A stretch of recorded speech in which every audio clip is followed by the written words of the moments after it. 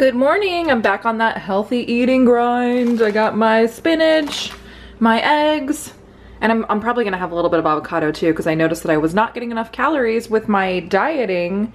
I was always under by like 200 calories and that's not good. I need to get a full a full calorie count in for the day because your body needs food. So spinach, eggs, avocado, probably just half an avocado. But there it is, good morning! I have also been using this app, MyFitnessPal, and I'm sure a lot of you guys know, I know this is a really popular app, but I just put my breakfast in and I'm realizing that I really do need to eat more calories for breakfast. I know that's kind of like the most important meal of the day. So I'm this really helps me to kind of realize if I'm uh, if I'm doing okay on my diet throughout the day, which is awesome. So, and it's a free app. I don't know. I just thought it was kind of cool. It kind of keeps your recipes in here, which is fun. Um, I don't know. I like it. I know they have one that you can pay for, but I don't ever, I don't ever get the pay for apps. I just get the free ones. So, so that's it. So yeah, I just wanted to show you guys what I'm using to keep track of all the bad things that I've been eating. I just finished editing the video. It's gonna take about almost 20 minutes to export, so I'm gonna go have some lunch. Although, look at these little lazy bums. Look at this little lazy guy over here too. Everybody's just been so tired today. Right, Bean? Did you have a rough night? Oh, I guess you did. Aw. All right, it is lunchtime. I am eating half of an avocado. I'm gonna actually have lunch though too. This was just to kind of hold me over while I was cooking my lunch. I'm not gonna eat this half, I'm gonna save that for Tim. But yeah, I just basically am just kind of spooning it out of the shell. And these avocados were the perfect amount of ripeness and I'm so happy about that because it's hard to get a perfectly ripe avocado these days. So yeah, and I'll probably have an apple and I might just put it in a smoothie. But there's my update on my healthy eating. It's a little bit later on. I was getting some budgeting and bill paying done. What? What was that? Okay, Armani just made a very weird noise. Um, I'm gonna have a smoothie. So I'm continuing on again with the healthy eating. I wanna show you guys that although we might slip up and, you know, it's usually at the theme park because it's just so hard. I can't really bring a smoothie. It's just hard. It's just, I know I'm just like making excuses, but it really is hard. So when we are on it, we try to like really be on it. So hopefully that will kind of help in this health journey that we are on. I don't know. Uh, but anyway, here's the, the smoothie that I'm gonna make.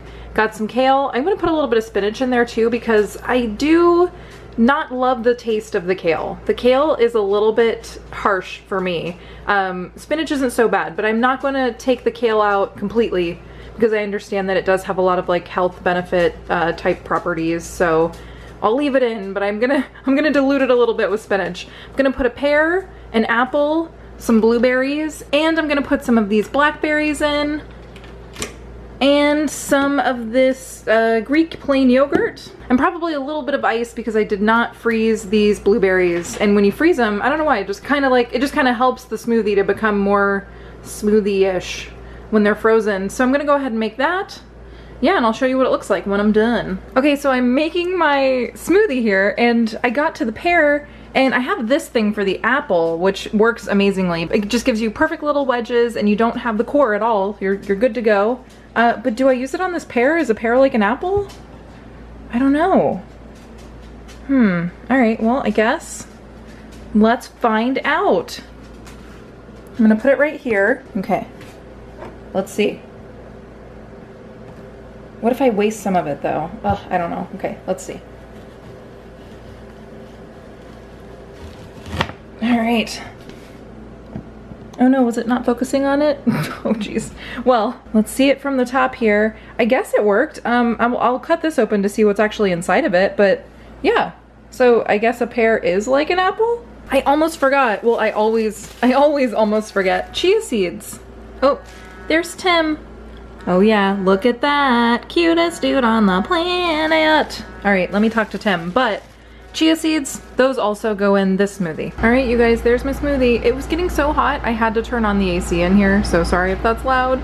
But the smoothie is really good. It's not super sweet, and I don't know, it doesn't taste very much like kale, so that's a win. Hey, happy Tuesday, everybody. As you guys can see, I just got out of the shower and my mustache is kind of crazy right now, but I've never actually used wax in my mustache. I've always done hairspray.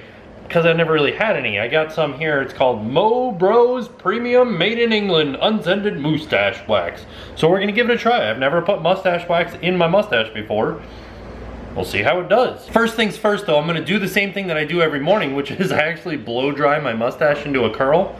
So I'm gonna do that and then we'll put the mustache wax in because that's just how I do it with the hairspray. So I think it might help it be curly. All right, here it is. I basically, I take the blow dryer and I curl my mustache and I blow dry into it and then like let it go and let it cool off in this shape so that it kind of holds a little bit. And then I hairspray it normally, but I'm gonna add the mustache wax now. Never done it, see how it goes. It kind of makes me look like Dali, like Dali, Salvador Dali. Because it's like very like, whoa, whoa. I don't really, I don't know. What do you guys think? I'm not gonna, I'm gonna try to get some hairspray in it now to like calm it down because it's pretty crazy. And that, this is the other reason why I don't wear uh, wax because it, one, it melts in the heat. And two, uh, it, like, I can't control it as much. It like goes way up here. It's like at my eyeballs. Look at that, it's way up here. Here, it's a little bit closer. I don't know if you guys could see it from back there, but there it is. Pretty intense, right? Like, really tall mustache action. Got wax in my mouth. Sorry, I had to do that again because I was so close. When I turned a little bit sideways, I put the focusing spot behind me, but yeah, look at that. There they are. Look at how tall they are. They're very tall. Like, well, this one's going down a little bit, but this one doesn't want to. This one's like, no, I'm running away. I'm gonna go live a life in the circus. Away from your face, Tim. So I'm gonna go put some hairspray in and try to calm it all down. And while I was mustaching it up, Jenn was getting started on some dinner with some carrots and some squash and some try me tomatoes.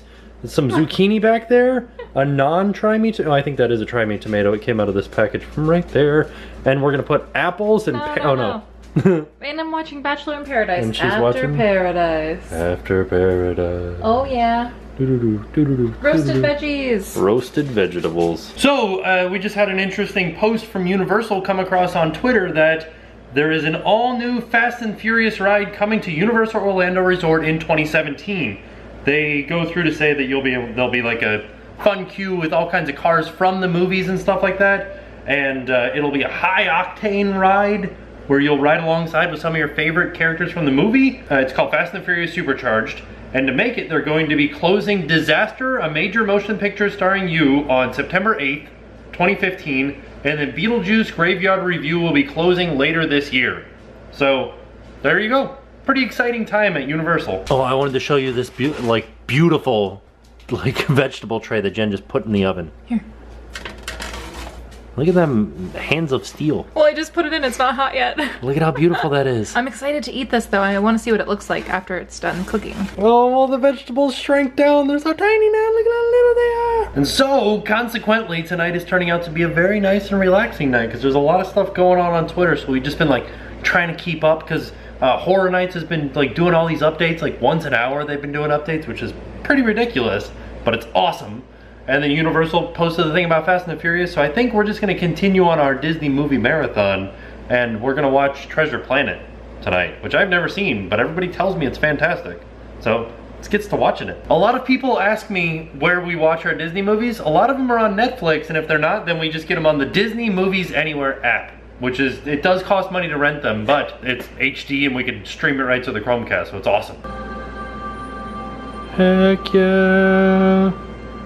I kind of liked that movie. It was fun. It was like all kinds of crazy science fiction-y type things that, I don't know, I'd never seen it before. I wish I had. But, uh, yeah, I enjoyed it immensely. I would watch it again. See, it was like a very nice night of being at home and like eating healthy and watching a Disney movie. But, uh, yeah, now I'm worn out because I had a long day at work. So, I will see you guys tomorrow. We're the professional boxers. And now it's time to pay the price.